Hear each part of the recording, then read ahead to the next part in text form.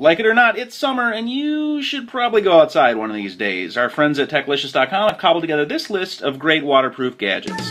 Sony's Xperia Z2 Android tablet starts at 500 bucks. Not only is it powerful, it's also waterproof and dustproof.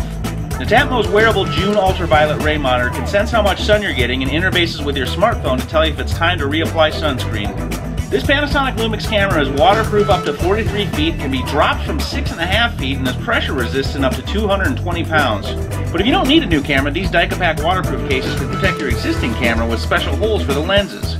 And finally, this Fugoo Sport Bluetooth speaker can survive in 3 feet of water for up to 30 minutes. What's more, it's got a battery that can last up to 40 hours at 50% volume.